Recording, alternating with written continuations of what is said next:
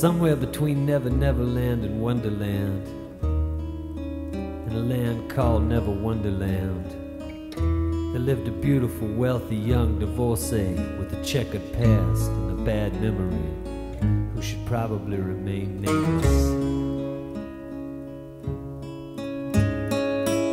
Men traveled from far and wide to try and win her hand. She took in stragglers from all over the known world. Her newest guests were, as her mother called them, the latest Russians to defect.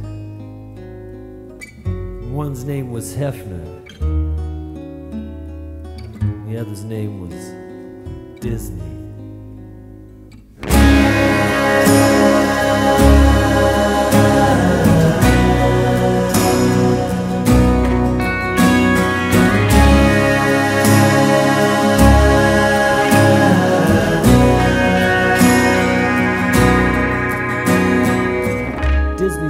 pipe and was very philosophical.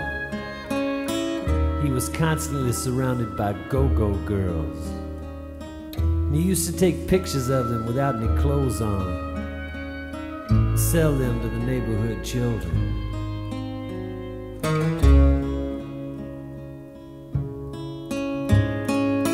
Hefner, on the other hand, was not so introspective. He loved a good story just like anybody else. In fact, he loved the myths of Never Wonderland so much that he made elaborate molded plastic sculptures of the characters in the myths. And then he'd set them out in the garden until he built a whole nother land in Never Wonderland, which he called Hefnerland.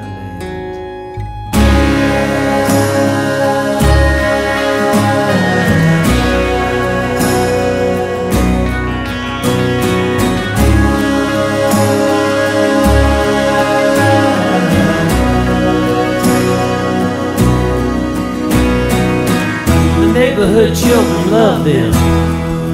They had lots of fun playing in Hefnerland and looking at all Disney's go-go pictures because they didn't know any better. They didn't know any worse. But the beautiful, wealthy young divorcee thought that they were only after her money. Sometimes she even wished they'd go back to Russia, but between you and me, they were really dupes of the wicked king who wanted to rob the children of their dreams.